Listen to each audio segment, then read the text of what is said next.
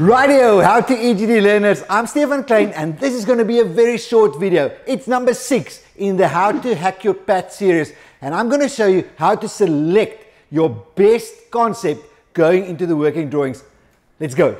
Okay, so let's get going. We're at requirement number four. It's on page 12 in your PAT document and it's talking about selecting the best possible solution that demonstrates to your moderators and teachers that you have an in-depth understanding of the scenario within the context of the design brief specifications and constraints. That's what they're looking at. They're wanting to make sure you understand what was the design brief with the specifications and that your solution actually speaks to those specifications and constraints. How do they want you to show this? And in this video, I'll actually give you examples of how to do this. But let's just have a look at what it requires on a separate page. So you've got another A3 page here. Compare and evaluate, evaluate the two freehand solutions. So you're putting these two solutions against each other.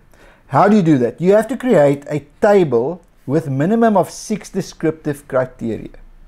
Okay, this criteria, please, cannot be single words. It needs to be a self-explanatory um, criteria. And it can come out of, of course, your design brief with your specifications. Then creating and applying a simple rating scale and that rating scale must also be defined. You must explain how you created the values to score each solution against each criterion and then you have to justify each score that you eventually give by describing the positive and negative aspects of each solution against each criteria. You have to complete this process by writing then a comprehensive summary at the end of this page, giving reasons for your selected free freehand. So you have to motivate why you selected concept 1 or concept 2, and that summary must also include whether any late changes were made to the selected free freehand or not. If there were, you must clearly describe it. Now this again speaks with your checklist, and we've just looked at um, freehand drawings in the previous video, so I'm going to zoom in here on number 4, which is selecting the best freehand solution. And this must be a separate presentation. Again, it's a page on its own. Where's your table? Do you have a table? Yes.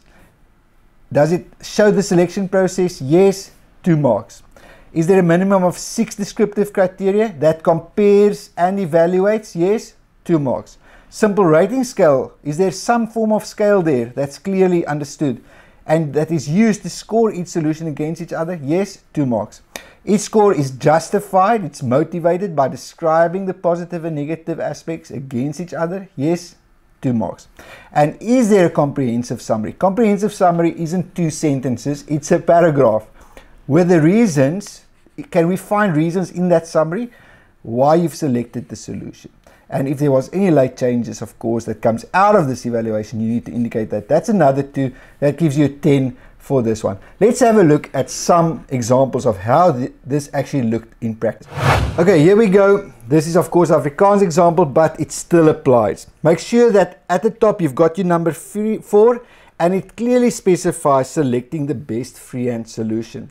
And then there needs to be your table. Of course, we have to see the table with actual lines drawn, please.